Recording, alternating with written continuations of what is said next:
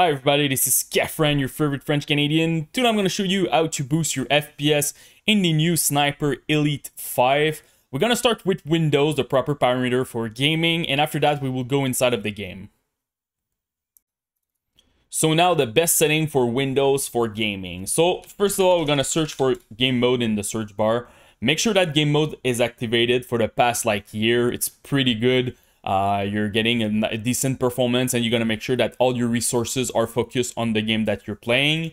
For the Xbox game bar, I still recommend to deactivate this one, causing stuttering, crashing in some games. So I'm not a huge fan of the Xbox game bar.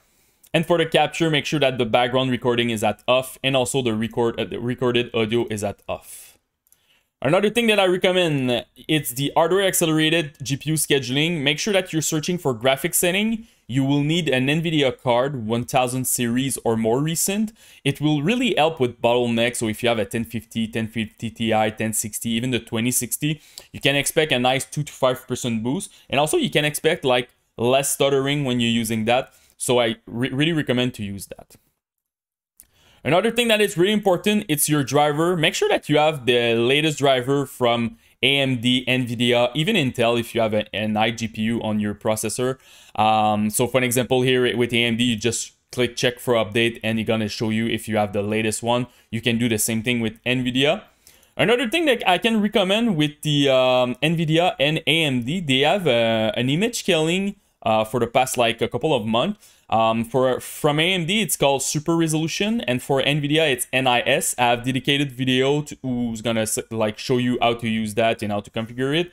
But to explain you quickly what it's about, uh, so you need to enable this. So for example, I'm playing uh, in 2K because my monitor in, is in 2K. I'm going inside of my game. I lower the resolution at 1080p and the software will scale it back at 2K and with this process, I can save like 15, 20% in my FPS. Also, you can do it if you have like a 4K monitor and you want to do 1080p or 2K. Uh, you can expect a nice boost.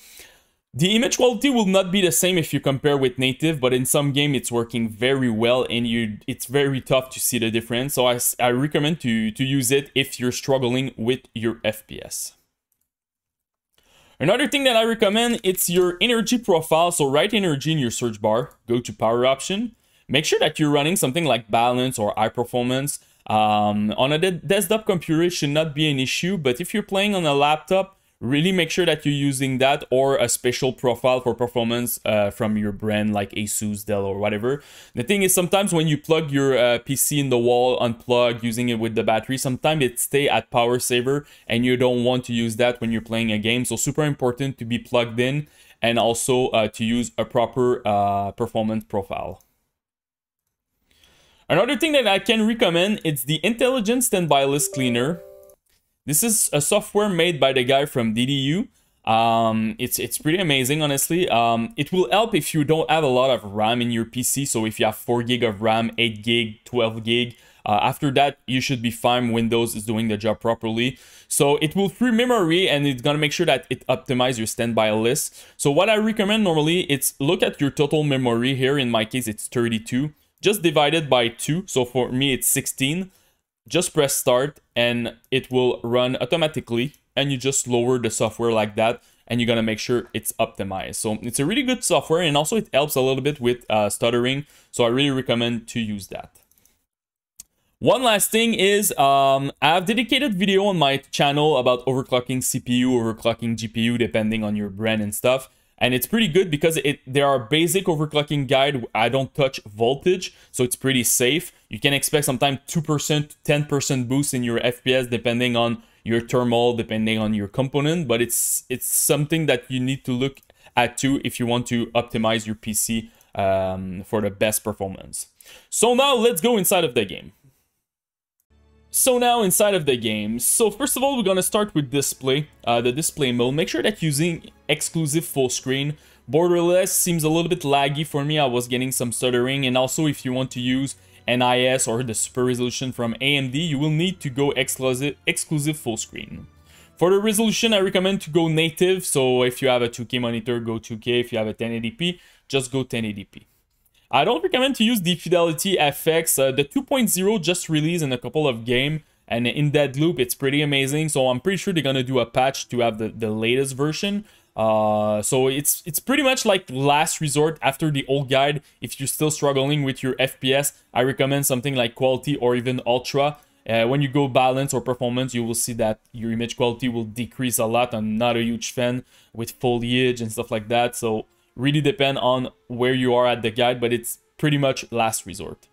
For the render scale, I recommend to go 100, don't go higher than that. Uh, you can definitely downscale at 90 if you're struggling with your FPS, but again, last resort.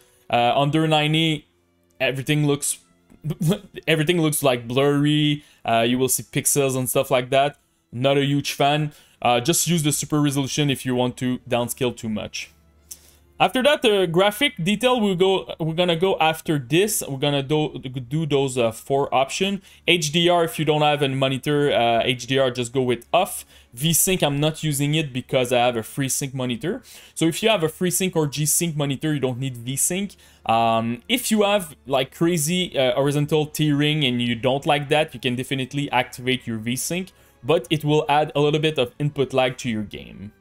Async compute, if you have like a video card 5 years or more recent, uh, normally async compute is not a huge deal to run, so I recommend to go with on for this setting.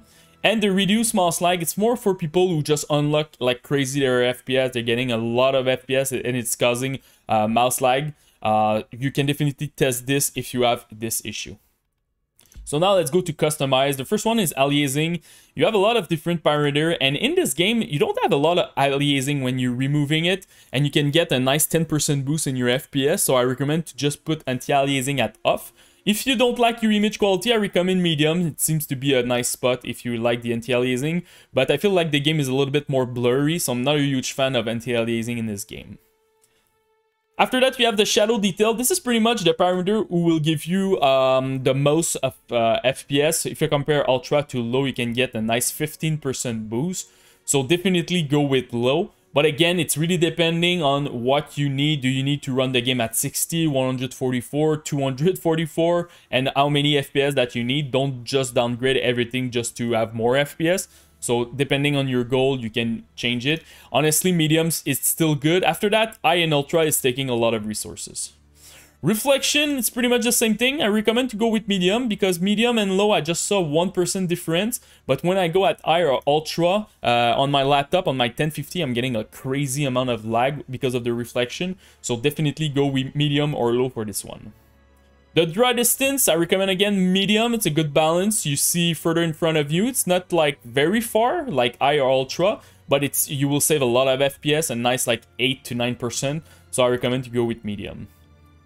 Texture detail, this one, if you have 6 gig eh, of VRAM and more on your uh, video card, go with Ultra. If you have 4 gig, go with I.